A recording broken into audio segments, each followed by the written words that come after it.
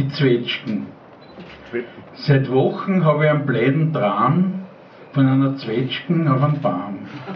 Sie hängt da ganz allein herum, ich finde keinen Grund und das ist dumm. Was will die Zwetschgen damit sagen? Beim nächsten Traum werde ich sie fragen. Die liebe Zwetschgen sagen mir gar, erwartet mich ein Ungemach. Die Zwetschgen bleibt die Antwort schuldig, schon langsam wäre ich ungeduldig. Zwetschgen, Zwetschgen da am Baum, erklär mir bitte diesen Traum. Die Zwetschgen hängt nur blöd herum, wach ich dann auf, sauf ihren rum. Mit der Zwetschgen wäre ich nicht glücklich und der Rum hilft auch nicht wirklich. Ich glaube, ich habe einen Defekt im Hirn, sonst trauen wir die von einer Birn. Eine Birn, die hat gar viele Seiten, mit 100 Watt leicht's von der Weiten. Als Maisbirn kann man es kräftig dreschen und als gemeine Birn sogar essen. Eine Birn, die kann so viel sagen, ein Zwetschgen liegt dann nur im Magen.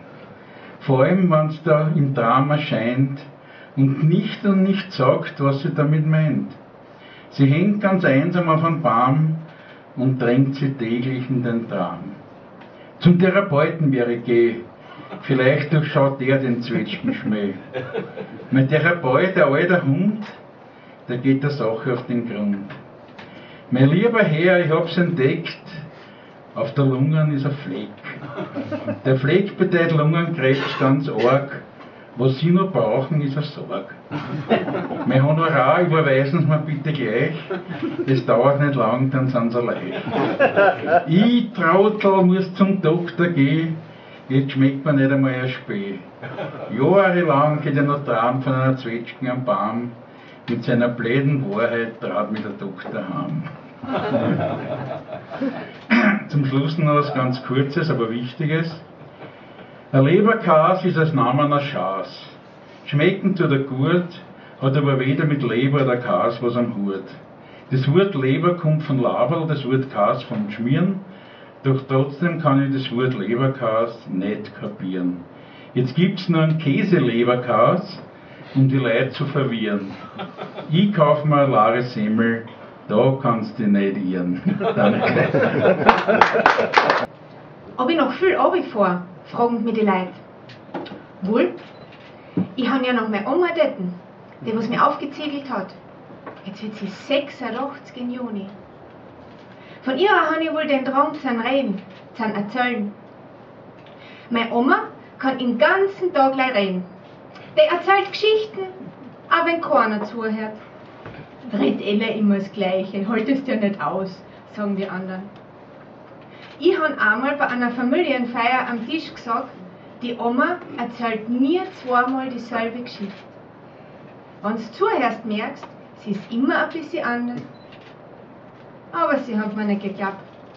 Haben mich angeschaut, als würde sie einen Schuss hätte. Hat keiner ausprobiert, ob ich recht habe.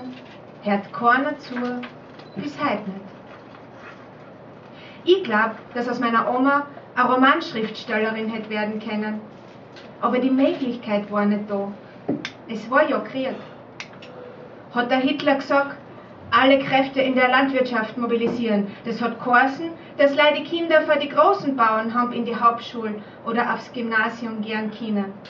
Die Kinder für die kleinen Bauern haben gleich die Volksschule machen dürfen und nachher daheim helfen.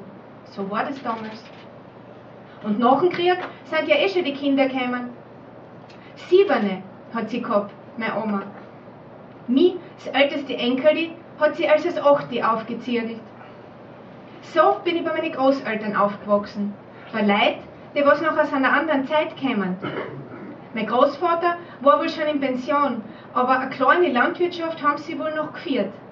Leih mir eine Kuh, eine Herne, ein paar Sau und ein Acker, wo sie noch eine Alpien und Gemüse angebaut haben. Das Brot haben wir auch daheim gebogen. Hat mir nichts geschaut, war ein schönes Aufwachsen, solange das ich klein war. Ein schönes Platzli auch noch, hier schleipt ein Wald zu wie.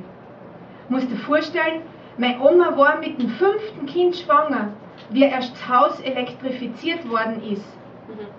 Hat der Nachbar nichts lassen, die Leitung über sein Acker legen. Das hat erst sein Gericht gehen müssen, dass die haben die Strommasten aufstellen können. Jetzt musst du dir vorstellen, wie die gelebt haben. Du stehst auf, wenn die Sonne beim Fenster erscheint oder früher, vor allem im Winter früher, und wenn es finster wird, gehst bald schlafen. Bei solchen Leuten, die was das gewöhnt waren, bin ich aufgewachsen, bis dass ich zwölf war. Nachher bin ich in die Stadt gekommen, nach Wolfsberg auf.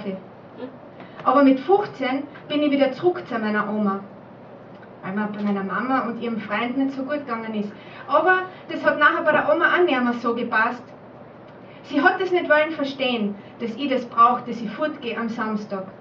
Sie hat nicht wollen verstehen, wieso ich auf die Nacht lang aufbleibe und am nächsten Tag lang schlaf. Sie hat nicht wollen verstehen, wieso ich so laut Musik her und so einen damischen Krawall, wie sie meine liebsten Punkrock- und Metal-Bands genannt hat, noch dazu. Dann habe ich auch noch geracht, da hat sie mich auch erwischt. Aber was das Schlimmste war, waren meine Haare. Ich habe Dreadlocks gehabt und die waren mir wichtig.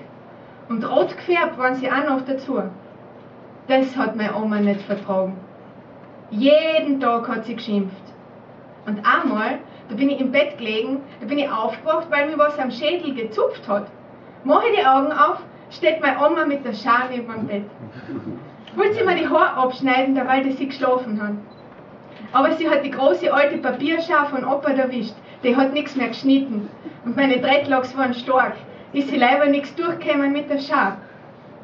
Ein paar Monate später, da war ich nachher schon 16, bin ich nachher nach Wien abgehauen.